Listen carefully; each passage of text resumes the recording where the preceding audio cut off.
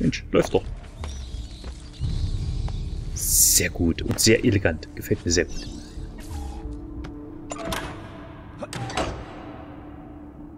Was mich immer wundert, ist, dass er auf Anhieb weiß, was er zu tun hat.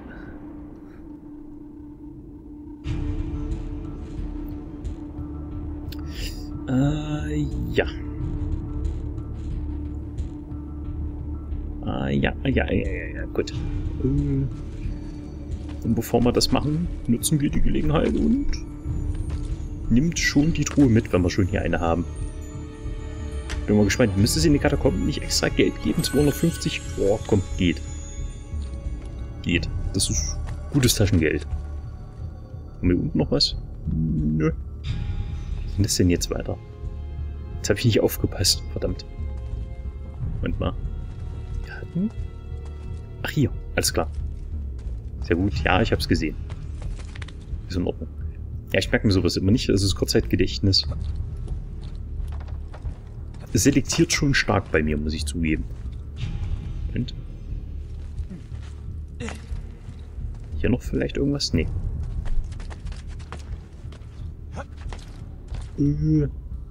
Hä? Ach, hier.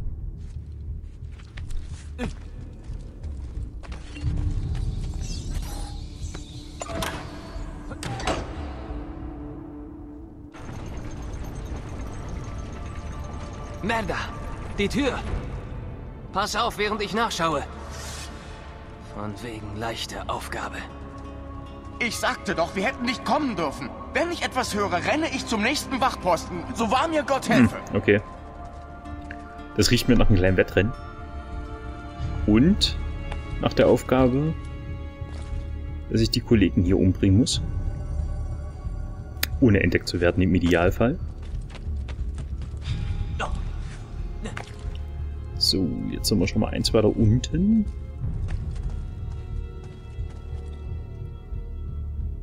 Müssen wir zusehen. Müssen wir herausfinden, wo die patrouillieren. Super, jetzt geht er da hinten hin.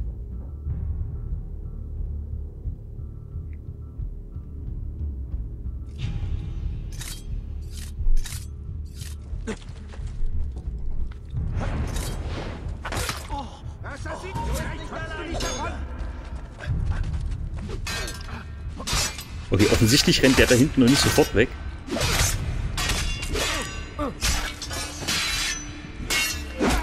Ach, Junge. Komm, komm, komm, komm, komm, komm.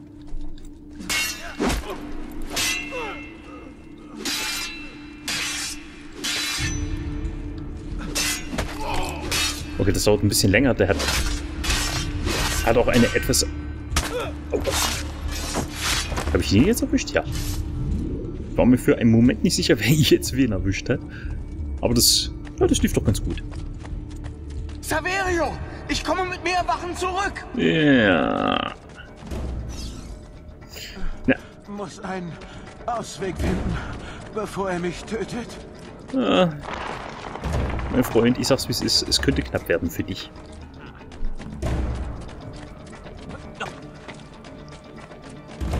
Ich hoffe, ich krieg den jetzt überhaupt. Klingen habe ich schon mal eingesteckt. Ah, fuck. Natürlich. Ja, natürlich. Was? Er, er, ich glaube, ich bin entkommen. Was? Wo ist der denn jetzt lang?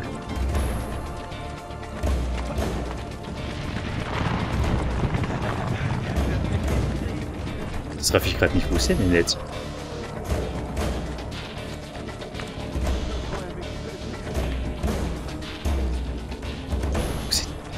Wo ist, der denn jetzt hin?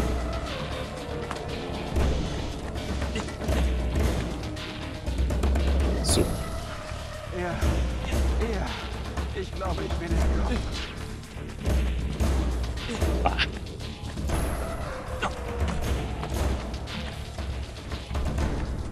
Da ist er ja. Schneller! Er, er, ich glaube, ich bin entkommen. Ja, jetzt aber, komm.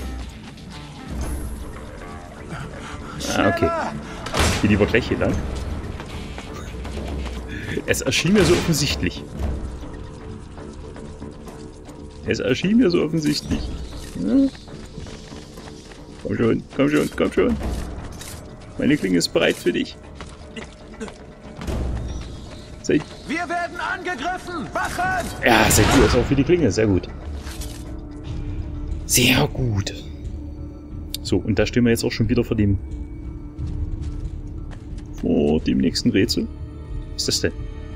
Ah ja, okay. So, die Tür öffnen. Das wird mir von hier aus wohl eher nicht gelingen, muss ich zugeben. Hm. Ich schau mich um. Oh. Lalalala. Sehr gut. Sie haben mich nicht gesehen. Ich vermute mal, das wären die Wachen auch gewesen. Äh, auf dir. Et benedictio Dei omnipotentis, Patris et Filii et Spiritus Sancti, descendat super vos et maniat semper. Grazie, Padre. Bernardo, Alles da. Schwerter, Knüttel, Äxte, Rüstung, Bögen. Unseren Leuten wird nichts fehlen. Das Geschenk ist wohl die Zustimmung des Papstes. Er gab der Aktion seinen Segen. Solange niemand getötet wird. für den Duomo morgen früh ist alles bereit, Signore. Der Köder ist gelegt, auch wenn es nicht leicht war. Sein dummer Bruder ändert ständig die Pläne. Sie. Wir müssen aufpassen, damit Giuliano morgen auch aufsteht, um in die Kirche zu gehen. Was ist denn, Jacopo? Glaubt ihr, dass sie etwas ahnen? Unmöglich. Die Medici sind zu arrogant oder zu dumm, um etwas zu merken. Wahrscheinlich beides. Unterschätze unsere Feinde nicht, Francesco. Oder hast du schon vergessen, wie dein Sohn umgebracht wurde? Dieses Mal gibt es keine Überraschungen, Maestro. Ihr habt mein Wort. Sehr gut. Ich sollte dann los. Ich habe noch etwas zu erledigen, bevor ich nach Rom zurückkehre. Meine Herren, morgen scheint eine neue Sonne über Florenz. Möge der Vater des Verstehens uns leiten. Möge der Vater des Verstehens uns leiden. Okay. Oh, den Sarkophag öffnen. Moment. Boah. Immer noch diese Typen. So. Sieh dir die Statue an. Sie ist identisch mit der in der Villa Auditore. Du hast wohl eines der Assassinengräber gefunden, von denen Aetius Onkel sprach. So sieht es aus. Da wir nun den Eingang kennen, markiere ich die Orte mit Gräbern in der Datenbank.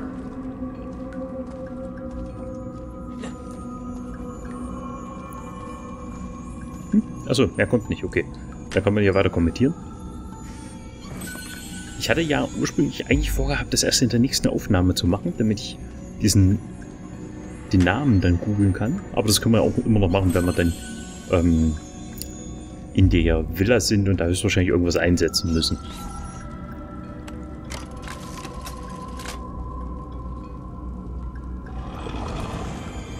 Ah, Leichenflatterei. Unangenehm. Ich könnte ja wenigstens den Sarkophag auch wieder zumachen. Wirklich. Also weiß Gott. So, haben wir jetzt noch hin eine Truhe übersehen? Nee. Und die Kunstwerke, die lassen wir auch alle hier drin. Sehr gut. Das klingt vernünftig.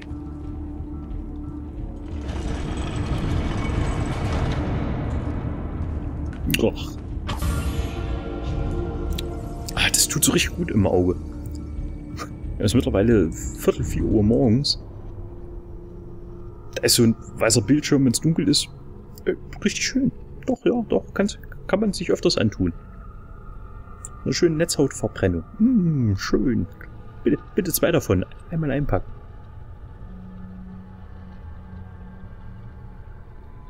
So, was sagt eigentlich die Zeit? Äh, ja, komm.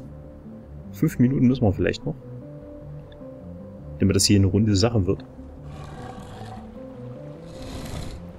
So. Okay, dann würde ich sagen, dann haben wir erstmal unsere Informationen, die wir brauchen. Und wissen, wo sich zumindest Francesco morgen befinden wird. Ich weiß, wo und wann ich Francesco finde. Aber Was ist denn? ich habe etwas gehört. Sie haben Waffen, genug für ein ganzes Bataillon. Sogar der Papst unterstützt sie. Das ist typisch für Sixtus, aber... Was zur Hölle planen Sie?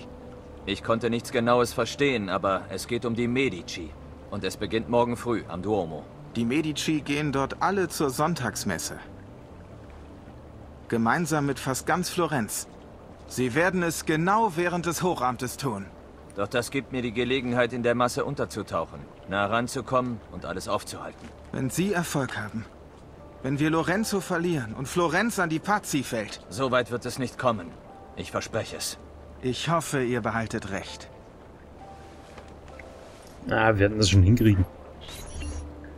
Wir werden das schon hinkriegen. So. Ich vermute mal, das ist das, das Schiff von unserem Wolpe.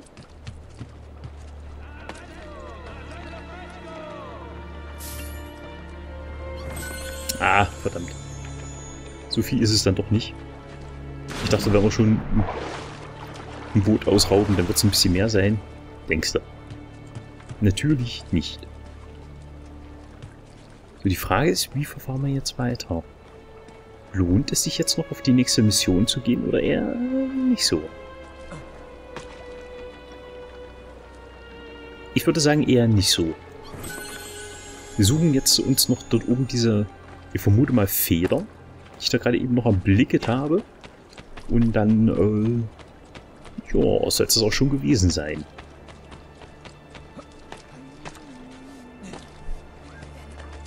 Ja, wir sind, wir sind schon wieder ein ganz schönes Stück ver... Nicht so schnell, Ochse! Boah, das hättest du mal lieber nicht laut gesagt. Ähm, was wollte ich jetzt eigentlich? Ich wollte eigentlich eine Abmod machen, bevor dieser Dödel mich aufgehalten hat. Ähm, und rüber? Nein! Nein, nicht so. Nicht so, du Vollhorn. Oh, bitte. Kletterst du hier wenigstens hoch? Ja, Gott sei Dank, wenigstens das. Ähm. Also nochmal von vorn. Ähm. Werden uns, ja doch, werden uns wahrscheinlich vom Dach abseilen müssen. Beziehungsweise herablassen müssen. Ja, also wie gesagt, wir sind gut vorwärts gekommen. Also wir haben jetzt mittlerweile schon ähm, den, ich möchte mal sagen, Manager-Modus von unserem Dorf äh, begonnen und äh, sind jetzt zumindest in der Lage, schon mal Geld zu produzieren. Das ist schon mal eine feine Geschichte, muss ich sagen.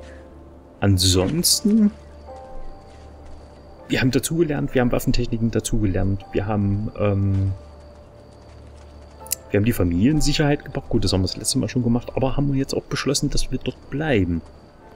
Haben immerhin Stadtmauern zur Verfügung, was uns durchaus helfen wird in der nächsten Zeit. Davon ist jetzt einfach mal auszugehen. Jo. Und dann würde ich sagen, ähm, Francesco Piazzi, äh, nee, Francesco Pazzi wird höchstwahrscheinlich dann erst in der nächsten Folge dran glauben müssen. Aber genauso wird es dann auch werden. Gut, dann würde ich sagen, ich verabschiede mich bis dato und wünsche euch noch einen traumhaften Abend. Wir sehen uns morgen wieder, wenn es dann wieder heißt Let's Play Assassin's Creed. Und kleiner Hinweis nochmal, ein Däumchen wäre ein Träumchen. Und ich würde mich natürlich auch wahnsinnig über Kommentare freuen. Yes, ja. Ich nehme mir noch die Zeit, ich lese das. Man soll es nicht glauben, aber ich nehme mir die Zeit. Buonasera. Ja, Björn Sera. Ja, und dann würde ich sagen, bis zum nächsten Mal. Tschüssikowski.